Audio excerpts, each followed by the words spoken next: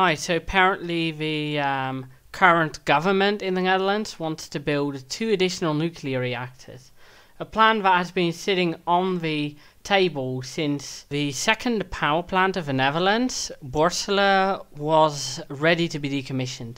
Its use term has been extended multiple times as it's pretty old. Apparently, Poland and France are also really considering nuclear power now in order to replace old coal, gas, and oil power plants.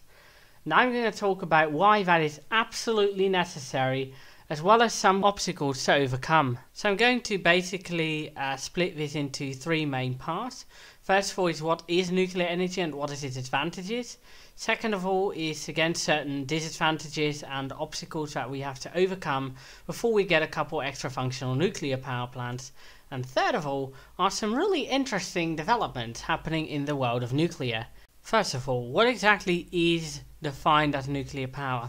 In the modern sense of the word, I'm going to be talking about power that has been generated by the fission of atoms like uranium and thorium. Nuclear fusion, though it is superior to nuclear fission in many senses of the word, is so expensive it's unlikely to come to fruition in the near future when right mother of now there is a climate crisis, rising energy prices and our natural gas supplies, though having been moved away from Russia, are actually now coming from another country that doesn't have human rights high up its sleeves, Qatar. Anyway, for us to transition away from coal, oil and gas, we absolutely need a mixed energy supply system that combines multiple sources of energy into one power grid.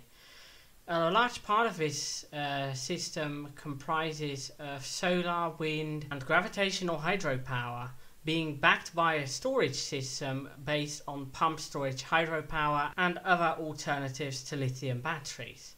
But there is still going to be about 50% which cannot be produced this way, nor do we want to, due to um, stability issues on the grid. The only known sustainable energy source that is not dependent on weather or water levels is nuclear power, which is why it's so often talked about in many countries' politics. But then, how easy is it really to get our coal power plants closed and replaced with nuclear power plants? Well, it's not going to be very easy due to the problems related to cost and public opinion. In fact, that latter one is the reason why Germany closed all its nuclear power plants.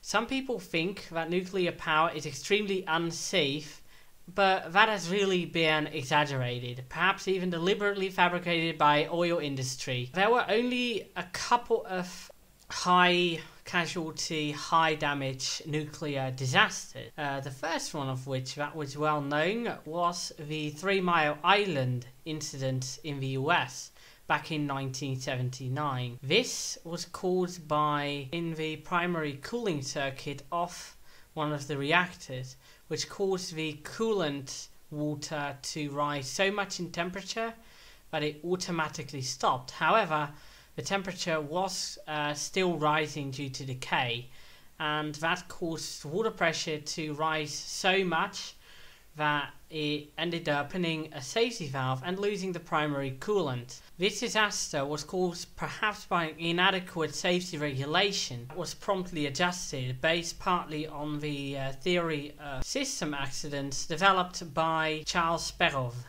Then we had another nuclear disaster which became very well known and in fact part of the reason why Germany shut down their nuclear plants. That was Chernobyl. Uh, this nuclear power plant is so well known that I'm really only going to explain some of the basics under which it happened. Effectively, what happened was there was the uh, nuclear power plant which used an RBMK 1000 reactor, which was inherently inferior to Western designs, and in addition, uh, there was a very weird kind of test of safety systems that was initially planned for the day shift but got transposed onto the night shift due to a power outage in another power plant. The night staff was unable, I mean incompetent, to do the test, and to put it bluntly, due to a combination of design flaws and human errors, the reactor ended up heating up so much and started producing so little power that the uh, operators decided to perform an emergency stop, which, due to a design flaw in the control rods, caused the temperature to uh, rise even further, and so did the output power, which caused the reactor to eventually explode and release radioactive rain everywhere in Europe. This is a very particular type of disaster that could no longer happen ever again in any developed country as even the Soviet Union and the later Russian Federation and other successor states of the Soviet Union ended up replacing the RBMK 1000 reactors with more modernized versions. And then on to the last of the nuclear disasters, which was Fukushima. Fukushima was otherwise a perfectly normal, perfectly well functioning nuclear power plant on the Japanese coast where earthquakes tended to happen. That was why Japanese cities ended up installing wave barriers on their coast, and Fukushima did that as well. Fukushima, however, had a wave barrier that, according to uh, historical and geological data, couldn't really uh, hold back the worst of the worst earthquakes that happened in the region, which was a magnitude 9 earthquake. The Tohoku was the latest one of them. This one ended up wrecking the plant completely. Water flooded into the basement where the emergency generators were stationed, which turned on immediately after the power outage that was caused by the tsunami.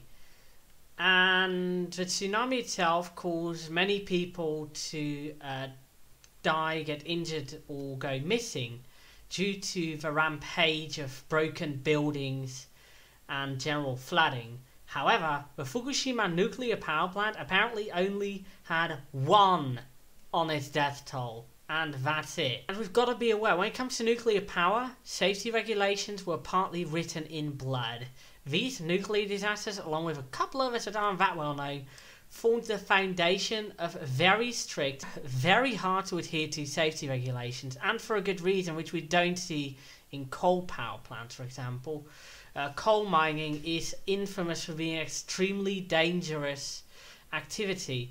There can be literal fires that devastate areas underground, changing geological landscapes forever and making entire regions uninhabitable. And it's all the worse when coal is mined from the surface, like what happens now in Germany. You get multiple wastelands caused by underground fires and surface mining together that end up becoming orders of magnitude larger than the entire Chernobyl exclusion zone. And unlike the exclusion zone, continue to grow if we continue to use coal and oil and gas power. Not to mention the many ecological disasters, and here we go, the risk of flooding. And when it comes to the nuclear waste, though, that's another problem.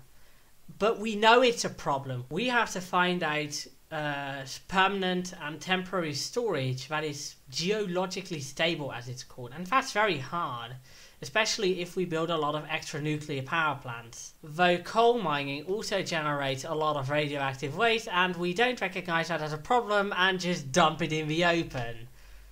Why? The do we treat these as separate? Is it the uh, fossil fuel industry but storing nuclear waste long term is by no means impossible if we know where to do it. For example, in New Mexico, in the waste isolation pilot plant near Yucca Mountain. Uh, and it's generally better off than having to deal with a bunch of climate catastrophes. So these kinds of uh, safety regulations are very expensive to adhere to by countries, though. In the Netherlands, according to um, WISE, a environmental organization, a nuclear power plant costs at least $10 million and they often go over budget. Imagine that for four standard nuclear power plants, or even two of them. Where do you get that money from, and will it actually make our electricity cheaper?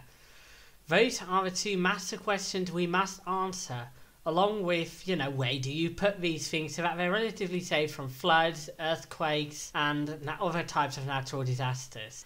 Uh, this is a major obstacle to overcome, especially as due to a public fear of nuclear power plants, many uh, investment companies don't want to invest in nuclear power plants. There is something really interesting coming along the way of nuclear fission energy, namely a new type of nuclear reactor. Of course, I'm talking about the liquid salt reactor, molten salt reactor, liquid fuel thorium reactor, and the many names this type of system comes from.